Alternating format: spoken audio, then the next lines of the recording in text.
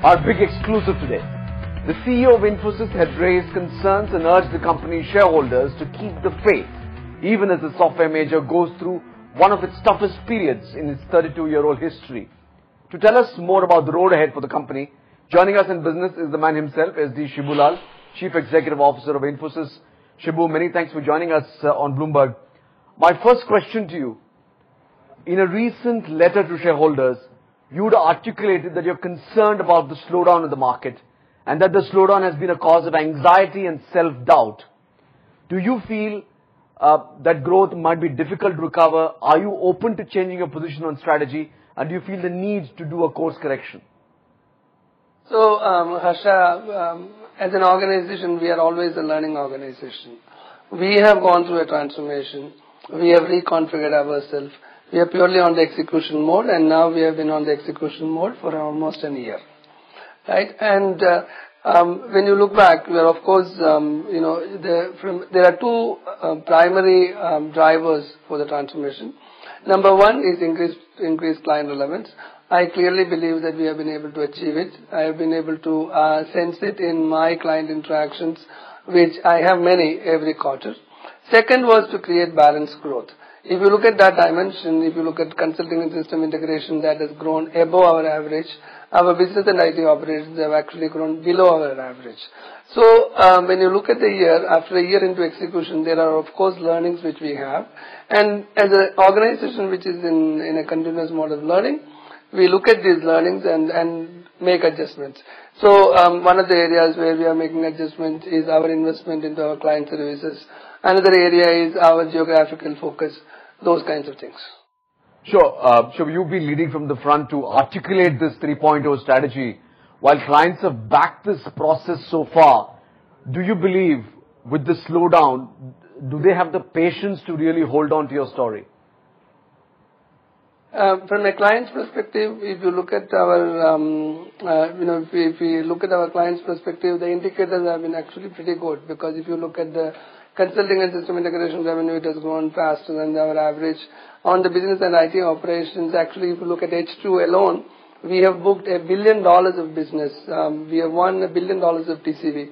Now, uh, when you when you win very large opportunities, it takes time to uh, come through, right? Because if you win uh, a total contract value of a billion dollars over the next five years, it takes time to flow through. And when I look at my um, pipeline for the large opportunities, we have a very strong pipeline for large opportunities. At the same time, after winning, it takes time for flowing through. The third component, which is the products and platform business, is a completely different model. You, you win the deal, um, you have about $700 million, close to $700 million of TCV1, but the revenue is only 1%. Because again, it is a different, um, uh, different sure. revenue profile. Sure. So it takes time to uh, flow through. Sure. And um, so when I look at um, the direction we have taken, we are confident. There are of course learnings from execution over the last one year, which we need to um, account for and adjust for. When I look at the future, um, you know, I see the strategies yielding results over the medium to long term. Shibu, you've also said that you will invest $100 million on new products and platforms and solutions uh, in your annual report. Is this all going to be M&A? Are there any deals in the offing?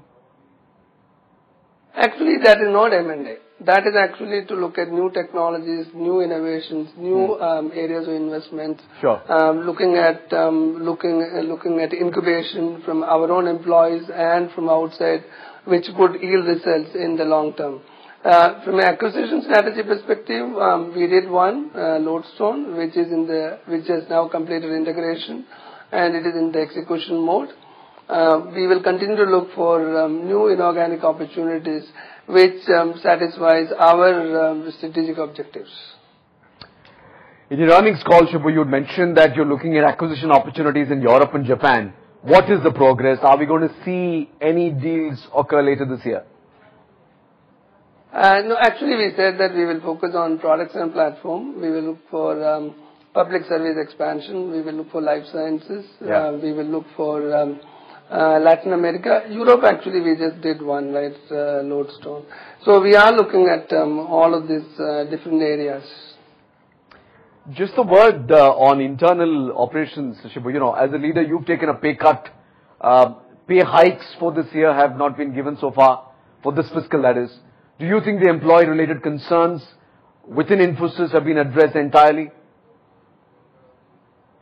So um, we uh, did a um, compensation increase um, offshore in October. Um, we did a compensation increase in offshore in October. If you look at the last one year, we did uh, promotions in April. We gave promotion hikes. We did a compensation increase in October. We gave that. We in in um, January, February, we rolled out compensation increase for uh, our uh, you know uh, our on-site employees in the U.S.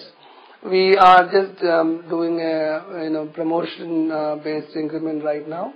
We have also one of our um, one of the um, one of the most important um, um, requirement from our employees was to um, reduce variability, variability of compensation. We have just done that. We have restructured. We have increased the fix. We have reduced the variability. We have simplified uh, the the compensation structure, and we are just rolling it out. Simultaneously, we have given compensation increase. We are giving compensation increase to our um, sales force, our field force. Fair point. Uh, just a word about the, the tax claim, Shibu. We understand that the IT department has made a 570 crore claim on Infosys. Can you tell us what is this claim really regarding and what is your course of action? So, um, first and foremost, uh, we are, if not first, one of the one of the largest uh, taxpayers in Karnataka. This is a 500 plus crore claim which came through. This is based on a rule which was um, uh, which was there some in 2007 2008 Later on, uh, there is an amendment which allows us to take tax benefit for on-site revenue as well as SEZ revenue.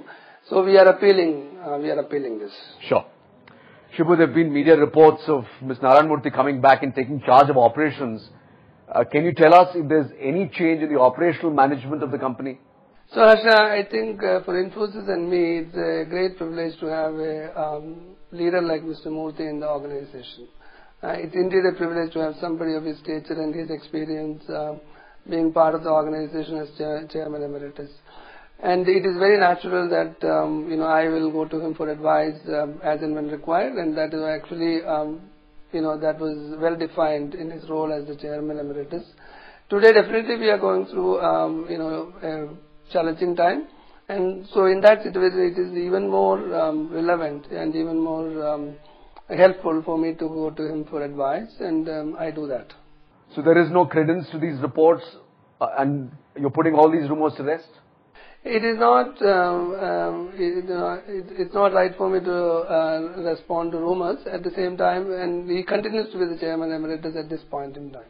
All right, Shibu, we'll leave it there. Many thanks for joining us with your perspective as the Shibulal, Chief, Chief Executive Officer of Infosys on their outlook for the company and the road ahead.